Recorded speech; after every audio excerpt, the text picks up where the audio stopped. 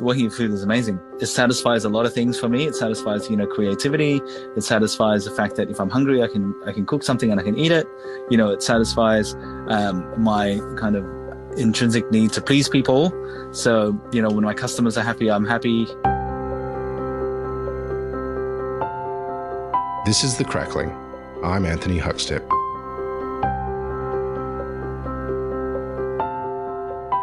Melting pot of different cuisines, cooking techniques, and cultural backgrounds has given Australia's culinary landscape a unique yet rich tapestry. For chefs working with people of different backgrounds, it offers an insight into different ways to cook and get the best out of ingredients. For Victor Liong, the world of fine dining gave him a different lens to look at the food of his Malaysian and Chinese heritage, and it's helped him create one of Australia's best restaurants. Victor, you weren't always going to be a chef. Tell us about the moment you realised it was for you. Um, yeah, I think at the start I wanted to pursue um, a career in finance or, you know, some kind of business management kind of field. I wasn't sure what that was, but then, you know, looking at what I was good at, you know, I wasn't very good, to be fair. You know, I wasn't, I didn't do very well in accounting in university. I, I failed marketing many times. So I'm sitting there going, oh, I don't know. So I think it was just, I think the only kind of avenue left was sales. And I wasn't a huge fan of that. And I think, you know, I've always been passionate about, about food and I knew it was something that I had to kind of pursue you know, once I finished my degree and I still had the opportunity of, of doing an apprenticeship, you know, at the, probably the right age, you know, probably a late start, um, compared to a majority of the industry. But I felt that if I, if I pursued that and, you know, I didn't, I didn't like it after the third or fourth year, at least I'd be, you know, a qualified chef and then I'd, I'd review my kind of, um, options there. But you know, I think after the first year and a half, I I really decided, yeah, this is it. You know, so um, yeah, I've been passionate about it. You know, I, I love working um, in in food and with food, and you know, in kitchens. And you know, um, now it's the next stage is working uh, on projects that set you know food businesses up and stuff. So that's it's come um yeah, it's come, it's come full circle, and also now I, I actually do a lot more of the business stuff than you know um, I ever did. So it's it's good fun. Did starting a bit later in the industry uh, as a chef, did, was there advantages for you with that? Well, I, th- I think you know, I I feel I I I got a slight advantage in terms of like I knew the focus on on areas of the work I wanted to focus on. You know what I mean? Like, and it, it, was a little bit, and I knew I didn't have as much time as everyone else. So it was a little bit of a race to get to, you know, like head chef or sous chef or chef de partie at the early days. You know what I mean? Um, and, and I knew the kind of the skill sets that I was after and like a, a, a study style, I guess. And I, I, I feel like I gathered that from university a little bit, you know, like if you, if you wanted to, to study and focus on you know one area of a subject matter you just jumped in and did it and then you kind of set yourself little kind of markers on what you deemed was um, you know competent or su- successful or you know what i mean? And i felt that i did that early in my career to hone in on the the style of food and and the techniques and the skills that i wanted. So i feel that it was a slight advantage in that sense. You mentioned that you always loved food Tell us about what role food played in your family growing up. Yeah, you know, I um, I grew up in the inner west of Sydney, um, in Burwood and Homebush. Uh, when I was when I was you know um, early teens, you know, primary school, high school. Um, food was always something that played um, a significant role, I guess, with any kind of second generation migrant family. Um, my, my, mother's a very good cook, and um, we all used to sit down at the dinner table at six thirty every night as a family, and you know, and there's, you know, it was kind of like um, a place where uh, mum would you know, A, kind of preserve heritage with some Chinese dishes, B, kind of um, soothe some, you know, low, um, homesick pains from, you know, food that she missed by cooking stuff that, you know, was from Malaysia where she grew up, and also to um, explore you know, cuisines that are new to the neighborhood. So, so yeah, like, you know, um, I remember mum cooking, you know, Lebanese dishes because, um, our land, landlady at the time gave us, you know, like tabbouleh and falafels and stuff. And then, you know, Strathfield was a slowly emerging Korean uh, ne- neighborhood. So there's a lot of kind of cultural influences there. So it was a lot of, um, you know influences from you know neighbors and friends and you know other other parents and children from the neighborhood so it's pretty cool pork is a real integral ingredient for chinese and malaysian cuisine is there any dishes from your youth um, that you can tell us about that you remember uh, it's funny you say that because um, mum used to cook uh, sweet and sour pork, but she she didn't like doing it because you'd have to deep fry at home, and that's one thing that's like a bit of a pain in the ass to do. So she used to she used to make a deal with us. It would be like, okay, because um, I have a brother and two sisters, so the the deal was you can either have Peking duck on your birthday or sweet and sour pork. So we used to we used to talk amongst ourselves and organize it so it was alternate. You know what I mean? So we'd get one of us would get Peking duck, one of us would get sweet and sour. So we'd eat that twice. So we'd have Peking duck twice a year and uh, sweet and sour pork twice a year. So funny that uh, it's sweet and sour pork, but you know. And mom used to do it so that she'd deep fry the pork so it was super crispy, and then she'd serve this serve the sauce on the side. So essentially, she'd basically make two dishes. So um, it was crispy pork neck like in light batter, um, kind of flour dredge, and then deep fried until it's crispy, and then seasoned with like a Cantonese salt and pepper spice, and that was, and then that was served with a, a sweet and sour sauce on the side. So if you can, if you add it with the sauce, you get sweet and sour sauce. But if you have it with uh, by itself, you just get salt and pepper pork. So it's pretty good. Tell us about the early days uh, working in commercial kitchens. But what were the real influences early on for you? Uh, I think it went a little bit before that. I was when I was in high school. I, I had a part time job um, working at a local uh, delicatessen, and that was run by um, two really lovely, endearing old uh, Italian ladies. One was uh, from Venice, Manuela, and Rosa was from um, Sicily. So they both had kind of very different ideas of um, you know what parts, what's the best cuisine in in Italy, but um, the deli was great fun because um, you know I got to learn a lot about charcuterie, a lot about how um, different kind of uh, Eastern European and you know Southern European cultures enjoy um, pork, you know, in charcuterie, salamis, salumis, you know, um, and then even um, yeah, some kind of um, some liverwurst and you know that kind of um, kind of Baltic style, um, you know, pressed and and kind of cooked sausages and a lot of smoked sausages. So it was good fun. What sort of influence did did that have on on you moving forward with food?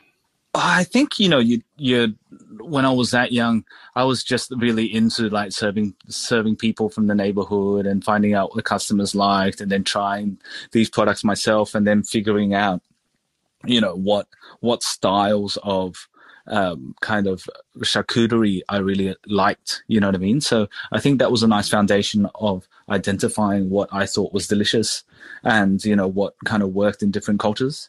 Um, and then, you know, as, as my career progressed, um, parts of, you know, the, that charcuterie style kind of honed in on a little more technical, more regional, more kind of, um, I guess, you know, chef styled, um, preparations, which which are pretty cool because then you know I had an idea of what these things were, and then having being being taught by you know a, a certain chef about how to make a terrine, you know how to kind of process foie gras, how to make a pate. Um, I already had like a pretty good foundation. Tell us about what it was like working in the kitchen of Galileo at the observatory. Um, yo, Galileo was great. You know, it was kind of the, the last of the big brigade type kitchens. You know, I remember there was like oh, 12 or 16 chefs every service and lunch and dinner seven days a week. Um, and yeah, it was great because, you know, it was one of those kitchens where there was a meat section and that you know the meat section had a chef de partie and a commis and maybe an apprentice you know the fish section had you know a chef de partie and a commis. you know the garnish section had like four chefs in there you know what i mean like um and then you know sauce section had two. So it was really cool to learn you know when when you were given when you were assigned a new section you really kind of learnt it you know and it was just that you know it was very kind of i guess it's the kind of henry ford model of you know a production production you know one person's a specialist in one part and then when it comes to assemble everything it all comes up together at the same time. So you know learning um you know on the meat section and it was such it was very classic kind of french run um, japanese french type um brigade where you know if you if you had like a um, a beef dish it would have a veal jus sauce you know a pork dish would have like a pork sauce you know what i mean? So it was every everything was utilized you know uh, framed around the protein and then everything kind of built around that. So it was good to see you know um, like a pork dish would go on and then you know in in the french school of um, cuisine, there wouldn't be like a pork bone uh, stock, right? But then in the Japanese school of cuisine, you know, pork stock is everywhere. You know, tonkotsu ramen is a pork stock. You know what I mean? So it was nice to kind of see, you know, um, a utilization of what um, the French school of cooking would say about how to cook the the piece of meat, but then like applying a Japanese lens on you know maybe the sauce application or you know the presentation. So it was really interesting. What sort of influence did that foundation have on on what you do today? Uh well, I think you know all all of the people, all of the chefs that I've ever worked under has taught me something, and you know I've I've gleaned something from them. You know, some some um, a little bit more obvious than others, but you know I think Style of food was, you know, it was very like I loved it because it was very technical. You know, he approached um, each dish from like every kind of angle. Um, you know, the the way he he kind of processed stuff was, you know, a really kind of traditional, masterful way in in in the kind of grand grand chef in a French style would. You know, and I, I really I really appreciated that, especially in terms of like a formative training. So yeah, it was good. It was good. You also worked with one of Australia's most renowned chefs, Mark Best, at Marque, with that has the most incredible alumni. You worked with some amazing chefs. Do you have any stories from that time? Um, yeah, I I had probably it was it was the first time I w- uh, worked in a kitchen where um, I ate a I ate this. Uh, we used to we used to do this pork jowl dish, right? And I I still use the same technique on how to how to process it because I think it's amazing. Um, and I remember Mark served it. So it was a roasted pork jowl, and yeah, he you know he brined it before, and then he cooked it really slowly, and then um, you peel you, you kind of carve the skin off, um, and then you crisp up the skin um, the fat in the pan and the dish the dish he had it was I, still remember it. It was just served with um, just wilted spinach with an oyster cream a poached oyster sesame seeds and then a sauce that was made um, from roasted duck bones with a port reduction and star anise. And i remember first time having it and I thought this guy is a genius because this is the exact same flavor profile you would get if you went to a Chinese like um, roast meats joint and you order the if you order the roast pork and they serve the roast duck uh, sauce with it, and I went, this is exactly it. And I knew, you know, then that, yeah, I'd, I'd like this place. I'd like to work here very much. well, the alumni are amazing from that restaurant. You, what was it like working with that team? Oh, it was great. You know, I think um, it was a small team. So, you know, I went from Galileo um, to Marque, and Marque is, yeah, I think maximum five, six people in there. Um, and yeah, the work is really intense. Um, everyone is really talented.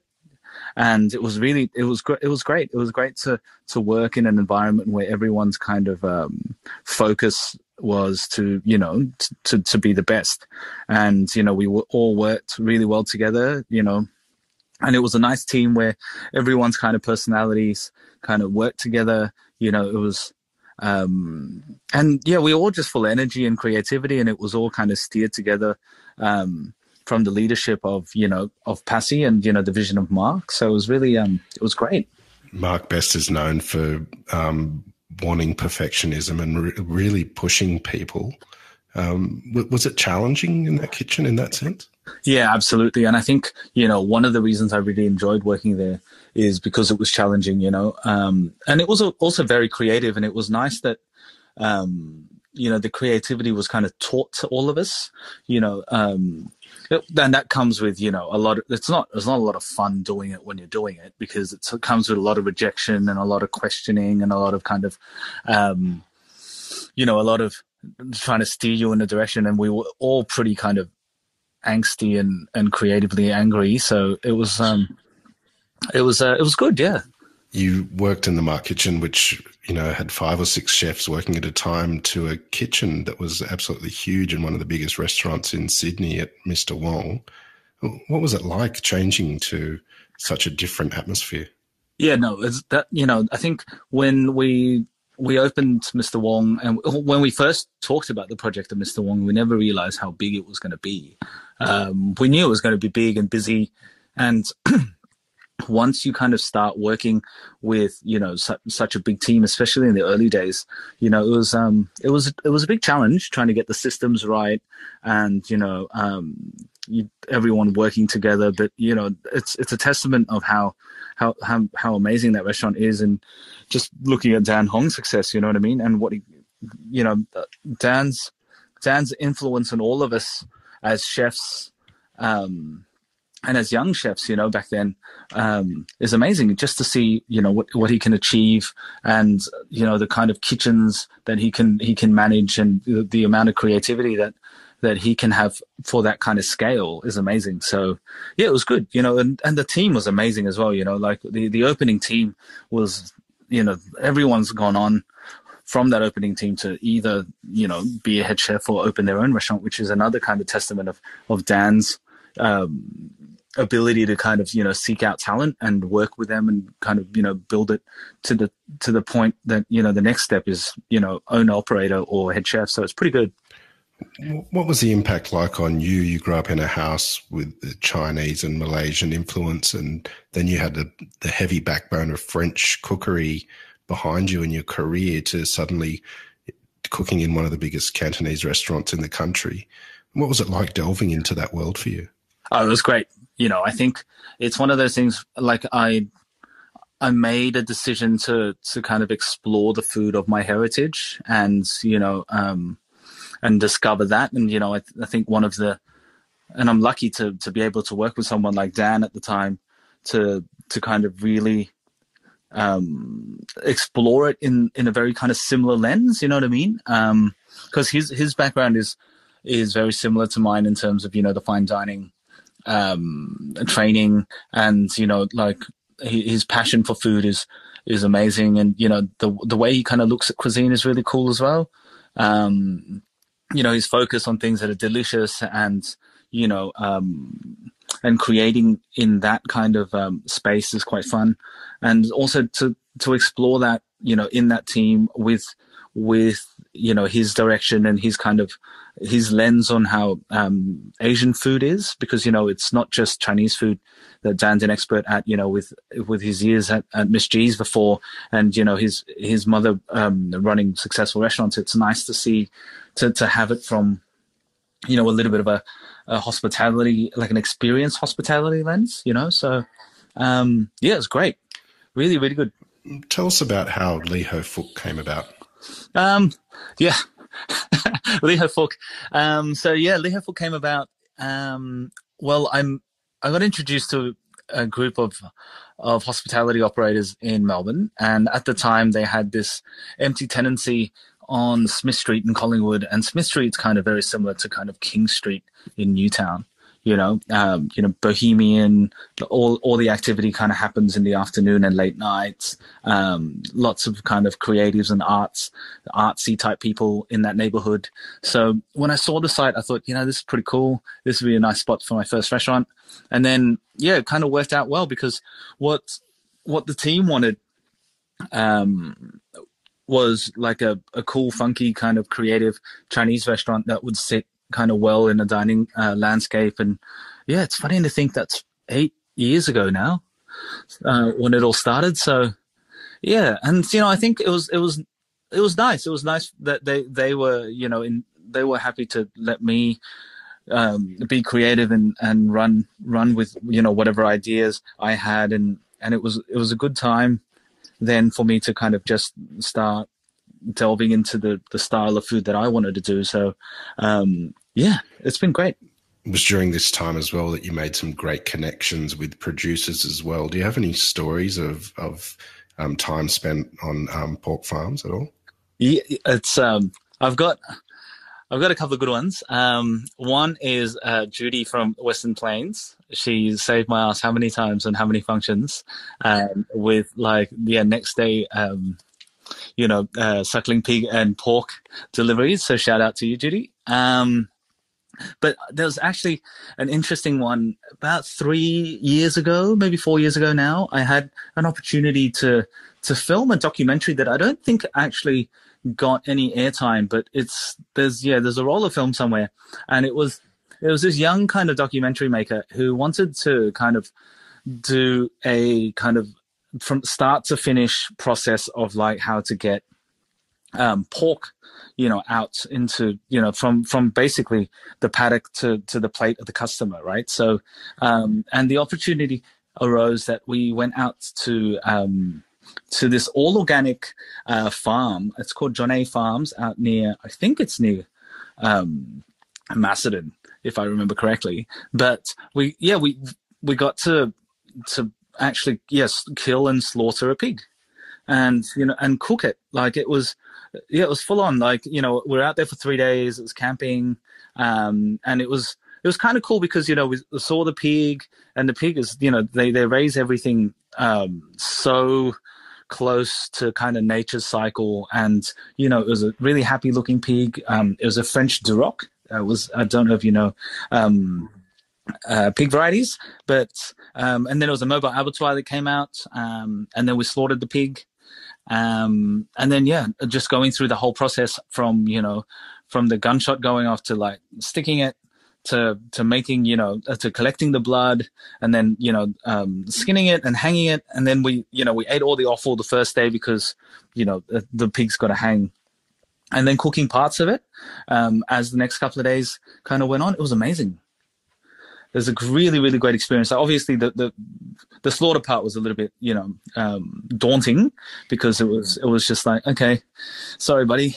But oh, good. Some of some of the like it was a very um, kind of educational experience, but also like it changed a lot of conceptions of what I had about, um, yeah, how, how kind of animals are, are slaughtered and you know and some offal to be fair. Like we cooked everything and everything was delicious you know what i mean? And i used to be like oh yeah i don't eat I don't eat pork liver. I think it's too kind of um, mealy and too kind of irony.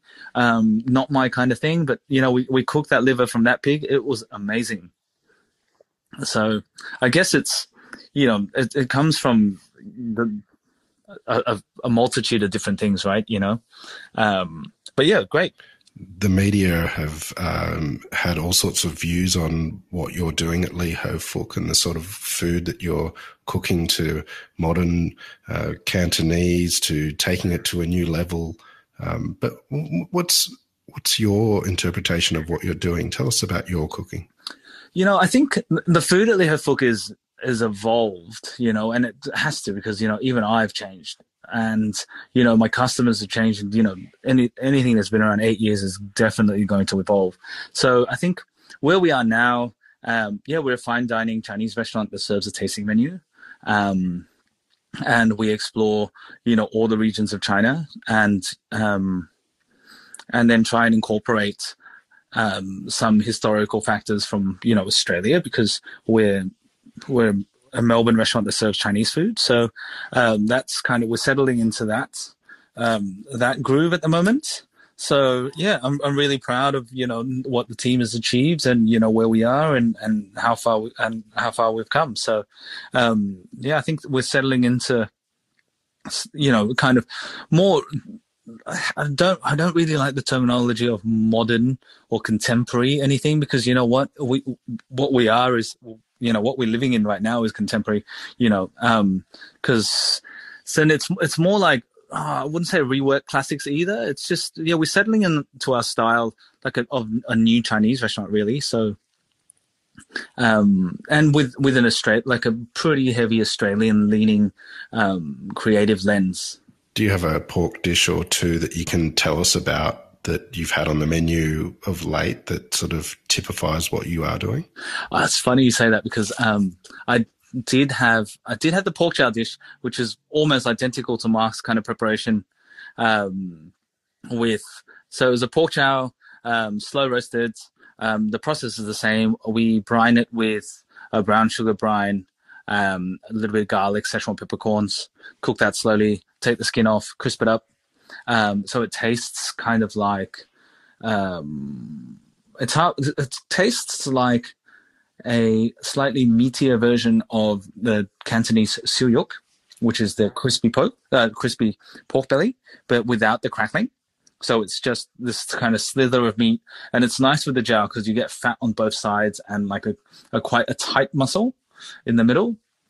Um, and then yeah, we just served that with um, a, a Cantonese style um, roast duck sauce, you know, coming because the first time I had it at Marque, I just went, "Yep, this this combination is exactly what I'm." You know, I'm I I remember eating every time I go to a roast duck restaurant, and so we are riffing off that, but we served it with a um, taro and potato mille-feuille, which is just slices of slices of taro, like and you know 10% of potato to kind of stick it all together. Uh, we cook that with duck fat, press it, and then cut a slice off and, and fry it until it's crispy, um, and a little bit of pickled onions through that. So yeah, really, really kind of simple. And that was on a lunch lunch menu last season. So yeah, you know, we've been in, in the current situation. Once we reopen, I think um, the menu is probably going to be a little bit lighter. So that guy's going to probably get on the bench, and something uh, a little more spring is going to come on. What is it about um, the pig and pork that's so uh, integral and um, versatile in Chinese uh, cuisine? I think it's the the applications. You know what I mean? It's the variety of textures and um, results that you can get. You know what I mean? Like all the way from you make a jelly from the skin, you take the jelly and you put it into a dumpling to make a soup dumpling. You know, all the way to you you know you get a tender cut from any anywhere from the neck all the way to the belly you know um, the the lean meat of the the shoulder and the leg can be minced nicely you know the fat can be cut up and you know uh, put through um, a sausage you know e- that doesn't even ha- actually have to have pork in it. Like for example we make a duck lapchong at Lee in in kind of like a fresh style of sausage but um, because duck is quite lean, we put pork belly, um, the pork belly and pork fat through it. You know, so um, it's you know it it it, it help. It, it's a it's a versatile um, meat, and you know it's it just gives so much. You know what I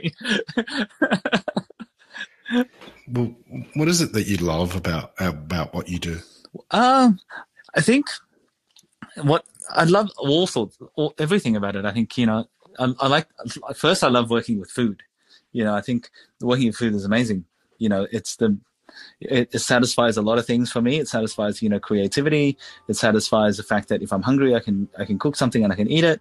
You know, it satisfies um, my kind of intrinsic need to please people. So you know, when my customers are happy, I'm happy. Um, I like working in a team of passionate people. Um, you know, I like operating in a city with serious hospitality operators. You know, I like the relationships I have with my suppliers. Um, yeah, I like all of it. Well, Victor, we've loved uh, hearing your story today on the crackling. Um, please keep in touch and uh, we'll catch up again soon. Really nice to um, speak to you, Anthony. This is The Crackling, a Deep in the Weeds production in partnership with Porkstar. I'm Anthony Huckstep Stay tuned as we catch up with some of Australia's best chefs and pork producers to discover what makes Australian pork so special.